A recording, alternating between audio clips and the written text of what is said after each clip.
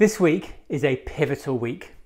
Every few years, we get something that affects the travel industry, and the chat is all about it being the end. I graduated when the Gulf War started in 1990. I've been through that 9 11, the ash cloud, the 2008 financial crisis. I was at Simply Travel in the 90s building a Corsican program when Corsica was being bombed by nationalists. But still, we grew.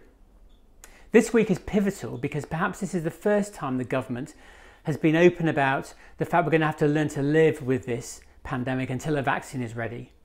Those businesses that win through will be those that look at how they can do business differently.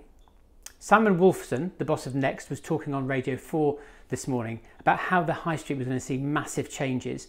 And although there will still be a high street in the future, it'll look a whole heap different because consumers have learnt to shop online.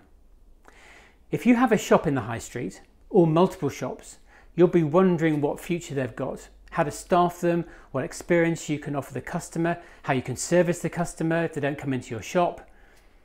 We all know that, well, for now, wearing a mask is in, and talking is difficult.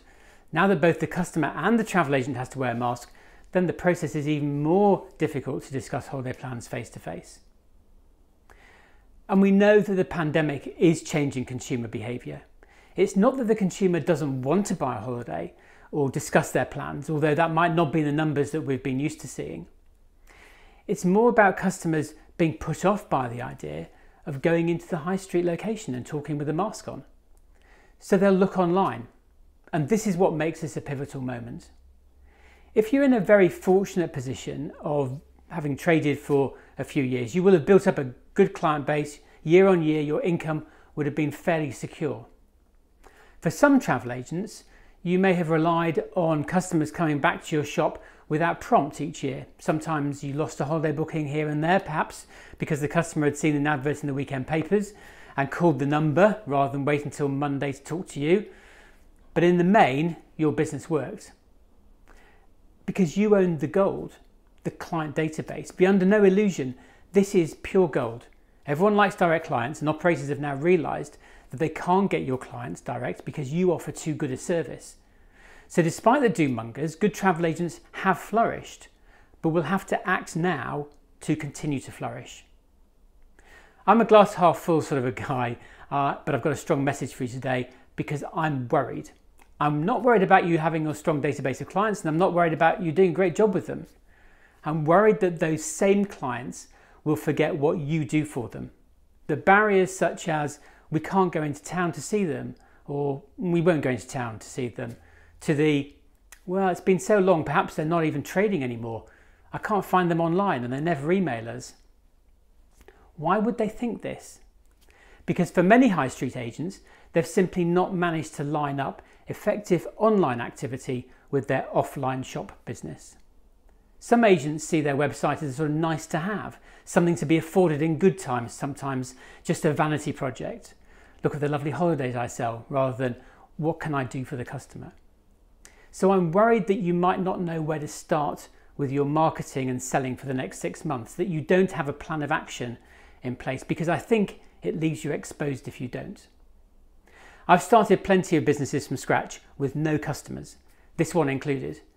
By far the hardest job is gaining that customer base, but you've got a solid one, and with your service levels, no one can take that away from you other than yourself. Your customer has to see that you're relevant to their holiday planning and buying, and if they don't, you'll probably lose them because they're not going to come into your shop in the near future. Agents using our email system, just as an example, achieve up to 40 to 50% open rates on email campaigns.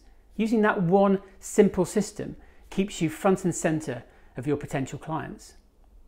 As small businesses, this can be a lonely time, and sometimes it's good to get someone else's point of view. So, how can I help? I know moving from reliance on a high street shop or shops to a more online focused marketing strategy can be daunting. But I know from clients who've managed this and run very successful agencies entirely off high street that it can be done well and be highly profitable. That's not to say they don't see their clients, they just meet them differently in shared spaces or home or online via Zoom. So I'd like to offer you a free strategic review of your marketing and what you've got lined up for the next six to 12 months together with a website review, and provide a roadmap to ensure you're doing everything you can within budget to ensure that your business survives this current period and comes through stronger. No strings, no costs. At the very least, you'll have something to balance out against your own thoughts, and that can only hopefully aid your decision making. So, if you'd like to do this, simply reply to this email and we can get the ball rolling.